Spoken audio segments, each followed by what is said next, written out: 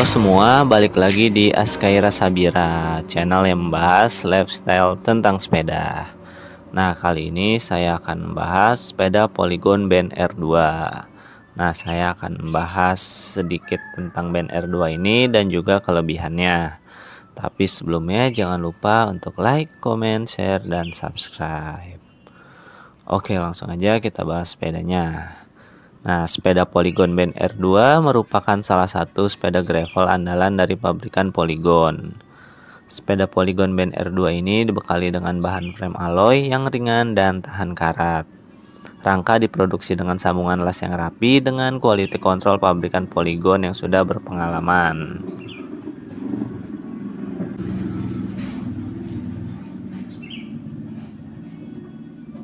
Dibekali dengan 9x2 pilihan percepatan dari Shimano Sora untuk menghadapi berbagai medan tanjakan.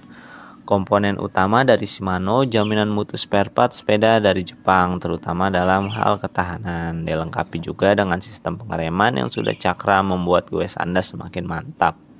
Sepeda ini dapat menjadi salah satu pilihan Anda untuk bersepeda keliling kota atau mengunjungi tempat-tempat favorit Anda. Nah, untuk kelebihan dari sepeda Polygon Band R2 ini yaitu yang pertama, Polygon Band R2 dibekali dengan frame alloy yang ringan dan tahan karat. Yang kedua, rangka diproduksi dengan sambungan las yang rapi dengan quality control pabrikan Polygon yang sudah berpengalaman.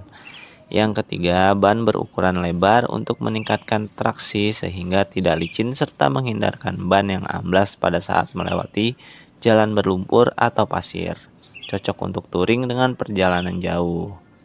Yang keempat, komponen utama dari Shimano jaminan mutu spare part sepeda dari Jepang, terutama dalam hal ketahanan. Yang kelima, menggunakan rem cakram yang pakem. Yang ketujuh, yang keenam, banyak 9 kali 2 pilihan kecepatan operan gigi untuk menghadapi berbagai medan tanjakan dan memberi fleksibilitas dalam berkendara. Yang ketujuh, sistem pengoperasian gigi muda cukup dengan jari telunjuk dan jari tengah, membuat nyaman dan ringan saat berkendara termasuk di medan tanjakan. Nah, untuk berat total sepedanya ini yaitu hanya 11,51 kg aja, jadi sangat ringan untuk ukuran gravel bike. Nah itu aja yang bisa saya bahas di video kali ini. Mudah-mudahan bermanfaat. Jangan lupa untuk like, comment, share, dan subscribe. Terima kasih sudah menonton